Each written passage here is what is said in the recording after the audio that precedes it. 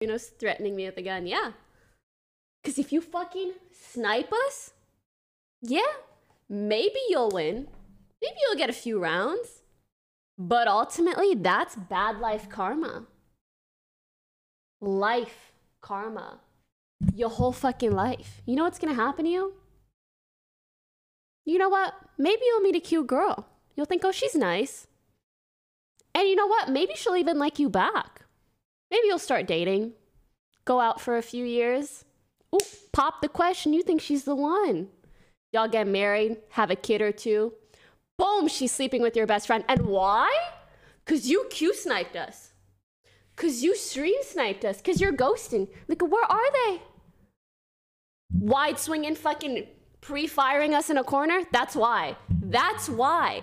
When your bitch cheats on you, just remember this is why.